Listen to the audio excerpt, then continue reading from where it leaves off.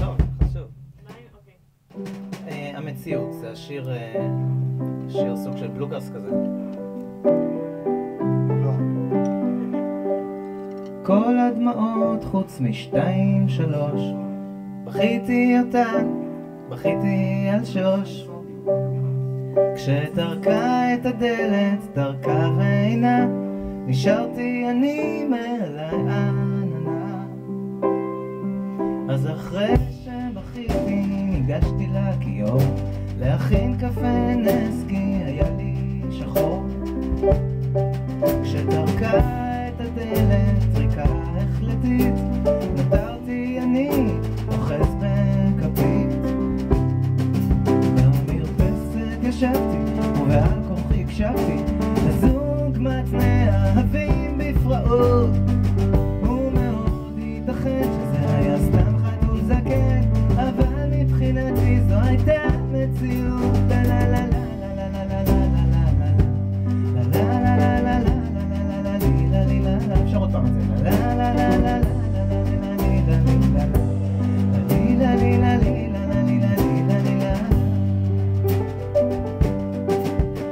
לקחתי את עצמי בלי שום אפליות. ירדתי לים, הוא ידע מה לעשות. אז הים לא שתק, הוא אפילו קצף. אז מה לא הבנתי, מה הוא רצה, מה הם כבר רוצים? אז שאלתי חכם שעובד בקיוסק. הוא אמר שמח בחלקך, נו שמח כבר אידיוט. כשטרקה לחיים אז תשמח בן זונה כן, במרפסת ישבתי, ובעל כורחי הקשבתי לזוג מעצמי אהבים בפראות. ומאוד ייתכן שזה היה סתם חתול זקן, אבל מבחינתי זו הייתה מציאות. לה לה לה לה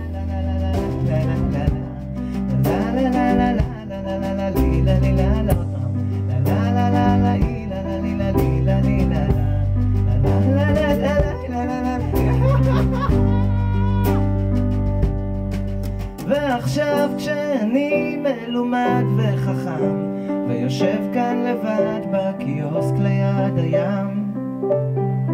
תאמינו לי שאני כבר מוכן להתאהב מחדש כמו מטומטם